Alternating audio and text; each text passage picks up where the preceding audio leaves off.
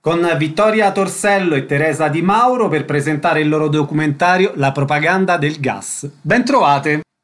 Ciao a tutti. Che inchiesta avete fatto? Cos'è questo documentario? Più una videoinchiesta sulla parte di Grecia, Italia e Albania del gassotto transadriatico.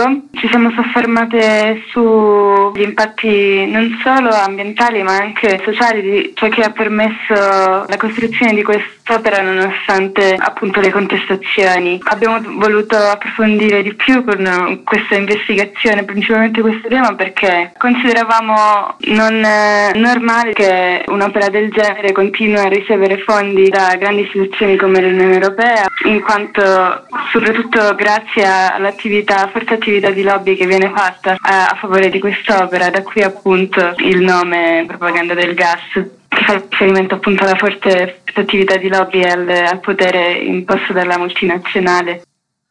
Come è nato il progetto di documentario? Il progetto di documentario è nato circa un anno e mezzo fa. Io e Vittoria a quel tempo vivevamo insieme a Praga e ci siamo ritrovati. Volevamo lavorare su appunto i continui investimenti, come un po' ha già accennato, nel settore del gas, nonostante appunto sia assolutamente necessario lasciarsi alle spalle i combustibili fossili e appunto ci è cascata un po' l'attenzione sulla volontà della multinazionale di raddoppiare la capacità della portata stata del gasdotto, tutto questo soprattutto a seguito dell'invasione russa dell'Ucraina e quindi di questa necessità che poi si è presentata di ancora di più differenziare gli approvvigionamenti energetici. Quindi è stato un po' in quel contesto che siamo tornati a parlare di TAP, ma della vicenda TAP nel 2016-2017 all'epoca delle contestazioni soprattutto a Melendugno, però poi ecco dal momento che è entrato in funzione il gasdotto di tutto questo mega progetto non si è saputo più molto e quindi abbiamo voluto appunto riunire un po' i puntini su questa questione. Dal documentario emergono un paio di argomenti. Da una parte l'interessamento di terreni agricoli, appunto in cui passa il tracciato, e poi la promessa di opere di compensazione che però non ci sono mai state.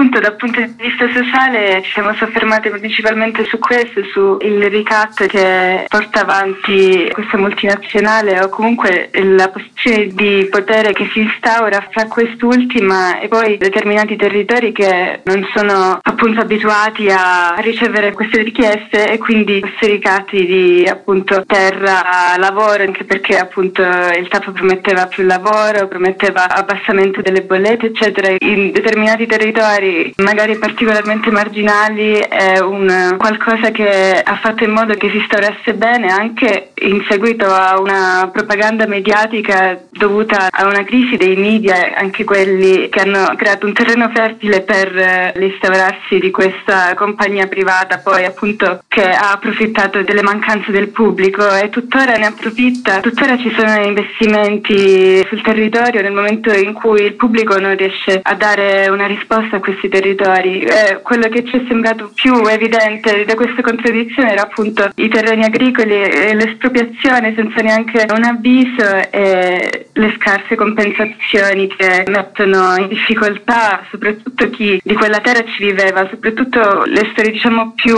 forti da questo punto di vista erano in Grecia ed Albania eh, che ci hanno anche molto aiutato a appunto focalizzare l'importanza della storia su questo aspetto e a non lasciarlo da parte come invece si tende a fare quando si parla appunto di questo argomento.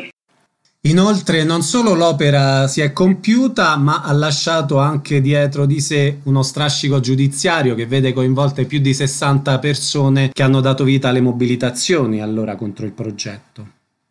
Sì, esatto. Ci sono ancora dei processi in corso al Tribunale di Lecce, uno appunto contro gli attivisti che si sono opposti, come appunto dicevi, all'opera in fase di costruzione che in realtà a Melondugno comunque hanno continuato e continuano a combattere l'imposizione della multinazionale su quel territorio. E poi ce n'è un altro parallelo che è contro i dirigenti della multinazionale e delle aziende ad essa collegate. Lo squilibrio e la velocità tra questi due processi è stato veramente ampio. Il processo contro gli attivisti praticamente si è concluso nella metà del tempo, forse anche in realtà meno rispetto a quello invece contro la multinazionale che è ancora in corso e che rischia la prescrizione.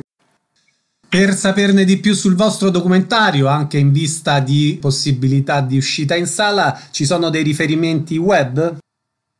Sì, la pagina del Premio Morrione ha tutti i riferimenti principali. Diciamo che non è uscito su nessuna piattaforma al momento perché ci teniamo a farlo girare più ai festival e a organizzazioni o situazioni che sono interessate a proiettarlo fuori da determinati canali, ecco. Quindi anche da questo punto di vista ne approfittiamo se c'è qualcuno interessato a proiettare il nostro lavoro, noi siamo più che disponibili.